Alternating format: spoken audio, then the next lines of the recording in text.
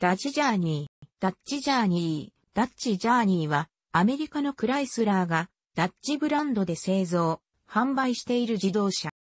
日本においては、ダッジ JC の名称で販売されていた。これは、ジャーニーという商品名が、すでに、いすゞ自動車で、いすゞジャーニーとして使用されているためである。JC は、ジャーニーの開発コード。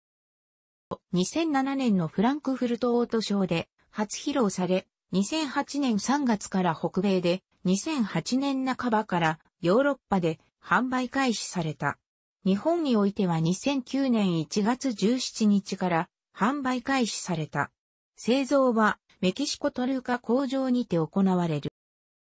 ジャーニーはミニバンの実用性と SUV の機能性を兼ね備えたミドルサイズの5ドアクロスオーバーワゴンでアベンジャーと共通のプラットフォームを採用している。フロントグリルはダッチ特有の十字グリルとなっており、全体的にアベンジャーに近い雰囲気のデザインとなっている。昇降性を高めるため、後部ドアは90度まで開くよう設計されている。日本市場において、クライスラーボイジャー、SWB モデルの後継者の役割を担っている。エンジンは 2.4L 字か 4DOHC、ワールドエンジンと 2.7LV6DOHC、LH エンジン、3.5LV6 サイチェ C、エッグエンジンの3種類がラインナップされており、駆動方式は FF と 4WD で、4WD は V6 を搭載した上級グレードのみにラインナップされている。日本においては 2.7LV6 エンジンで FF 駆動のモデルのみがラインナップされていた。北米でのラインナップは以下の通りなお、R、T には SXT にはない機能、キーレスエントリーなどが追加されている。2.7LV6 モデルは北米ではラインナップされていない。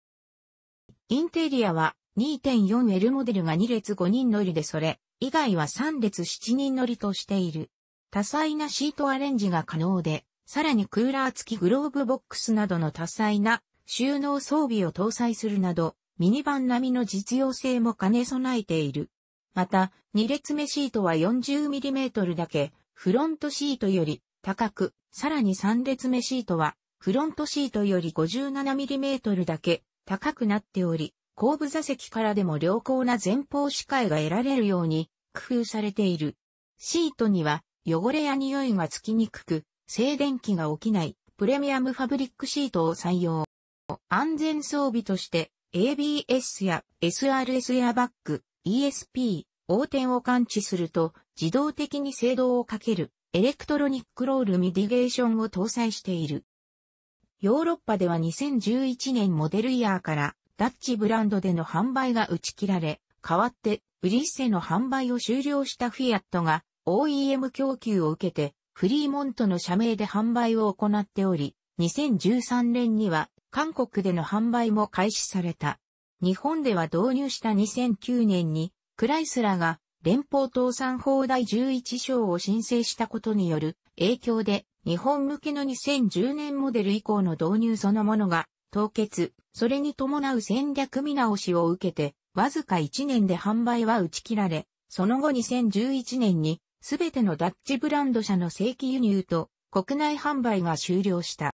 楽しくご覧になりましたら、購読と良いです。クリックしてください。